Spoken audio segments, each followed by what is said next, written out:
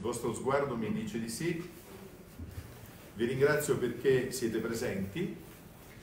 Credo che sia un incontro con la stampa causato, indotto si direbbe. È un incontro con la stampa indotto da una sentenza della Corte Costituzionale.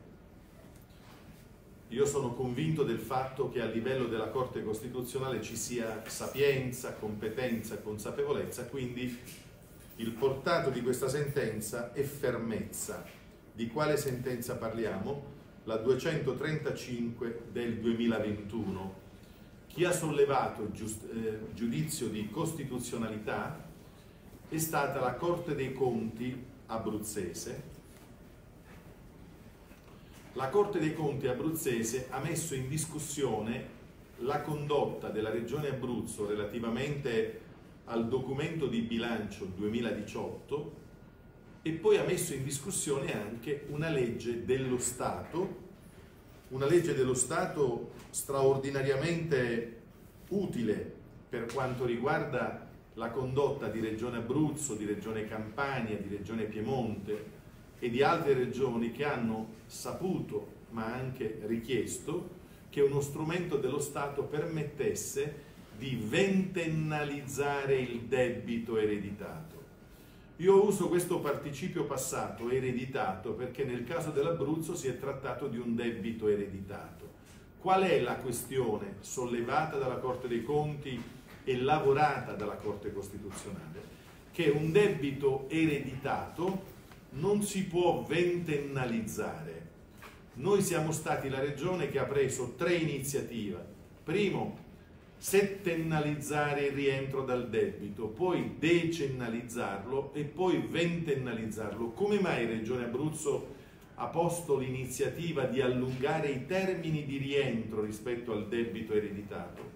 Perché se non facevamo così non avremmo avuto agibilità di spesa sui diritti fondamentali postici dai cittadini, postici dalla comunità delle persone. Per esempio i diritti riguardanti la trasportistica, i diritti riguardanti le borse di studio, i diritti riguardanti, ecco, un fatto che è recente, l'acquisto dei pullman che stanno popolando la viabilità statale e provinciale abruzzese.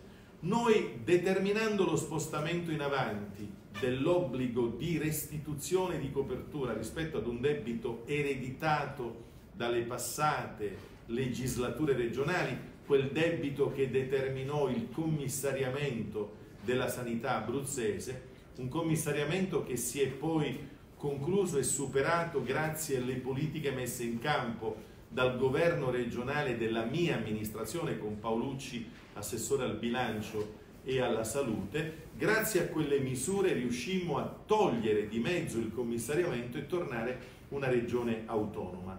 Qual è stato il ragionamento in diritto sul piano della legittimità che ha fatto la Corte, non si può un debito ereditato spalmarlo nel futuro, altrimenti si scatena in danno delle future generazioni debiti e doveri derivanti dal passato.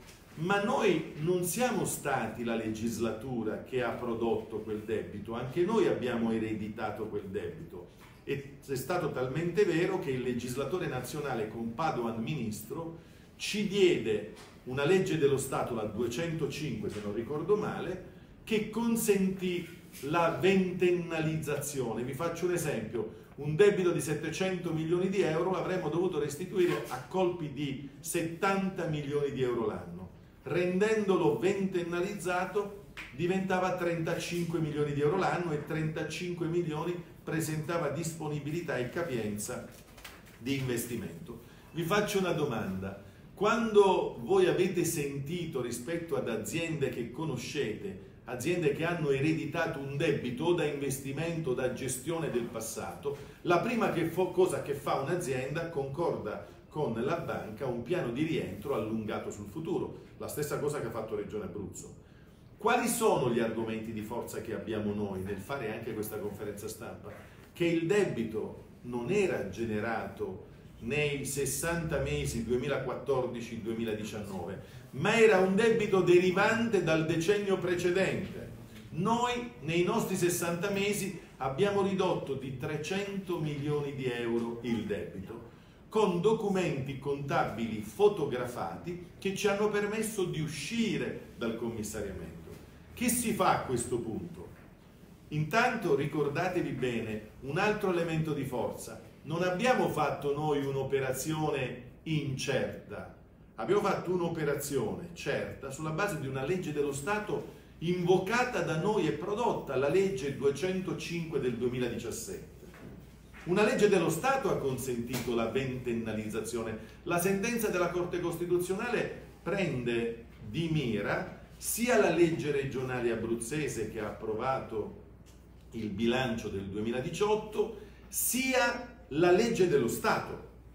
E tenete conto che non è successo nel passato lontano, perché nel passato lontano si era scelto di non approvare i conti consuntivi. Il conto consuntivo è un documento che fissa l'igiene dei documenti contabili. Il conto consuntivo dà luogo alla fotografia esatta della situazione dei conti di un ente. Noi, prima di concludere la legislatura, per ragioni riferite al patto sottoscritto per uscire dal commissariamento, abbiamo approvato i conti consuntivi. Approvando i conti consuntivi ha avuto rilievo il debito. Ha avuto rilievo il debito, voi lo dovete coprire e noi lo abbiamo coperto producendo, attraverso un accordo col Parlamento nazionale e col governo, una legge ad hoc che ha consentito di ventennalizzare. La Corte Costituzionale dice che 20 anni sono troppi, va coperto il debito con anni minori. Se gli anni sono minori è maggiore l'esborso annuale, se è maggiore l'esborso annuale c'è il rischio di tagliare i diritti fondamentali. Ma dove sta il colpo di teatro per il quale io vi convoco? Perché fin qui lo poteva fare il direttore di ragioneria, tra l'altro è molto bravo, non è sempre compreso, ma è molto bravo quello abruzzese, il direttore Bernardini. Poi c'è un dirigente valente che prima era stato anche direttore delle risorse, il dottor Ebron d'Aristotele, lo potevano fare loro la conferenza stampa. Se ho deciso di farla io, c'è una ragione. Pescara non è una città qualsiasi sul rapporto tra diritti fondamentali e documenti di bilancio, un valentissimo magistrato del Tar di Pescara, Balloriani, che io mi permetto di citare, ha fatto dire alla Corte Costituzionale, alla stessa Corte Costituzionale, alla stessa Corte, la Corte di Cassese, di Amato, di quelli che conoscono il diritto e i diritti fondamentali, che i diritti fondamentali delle persone prevalgono sulla sanezza di bilancio. Non so se vi ricordate, non l'avete scritta, a suo tempo, pur essendo una sentenza storica che mette in discussione questa coppia, diritti fondamentali, documenti di bilancio. La provincia di Pescara negò l'estendimento dei doveri di copertura per il trasporto della popolazione scolastica con diversa abilità. C'erano dei ragazzi con diversa abilità che avevano bisogno di trasporto scolastico. La provincia disse non ho risorse, non posso farlo. Una famiglia fece ricorso al TAR, il TAR di Pescara, con iniziativa a firma di Balloriani, sollevò la legittimità costituzionale della norma citata dalla provincia. La Corte disse i diritti fondamentali prevalgono rispetto ai documenti contabili. In ragione di quella sentenza noi abbiamo detto dobbiamo trovare un'agibilità contabile che ci consenta di risanare non in tre anni, in quattro anni, come chiedeva la vecchia legge dello Stato, ma lo vogliamo fare con un numero di anni che non ci tolga la capacità di garantire i diritti fondamentali. Ci siamo mossi all'interno di questa cornice.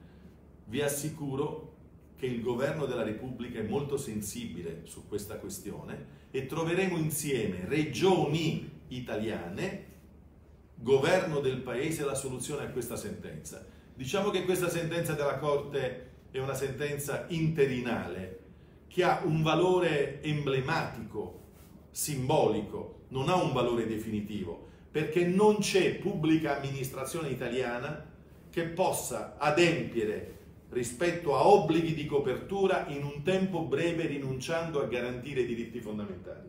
È una grande questione, interessante, mi piacerebbe fare un dibattito in tribunale su questo, sono convinto che convincerei tutti. Come riuscì a fare, sollevando la questione di legittimità costituzionale, il giudice Balloriani, già autorevole carabiniere, vincitore di concorso, componente dell'organo di autogoverno della giustizia amministrativa, convincendo tutti.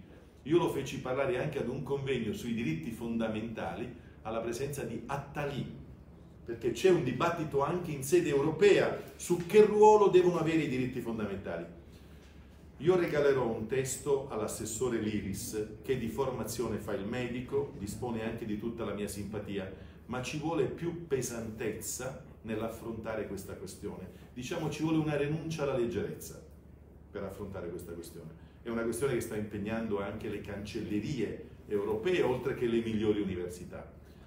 Spero di essere stato chiaro, ma mi sento invitato a nozze da questa sentenza per ritrovare la dignità della politica e del diritto.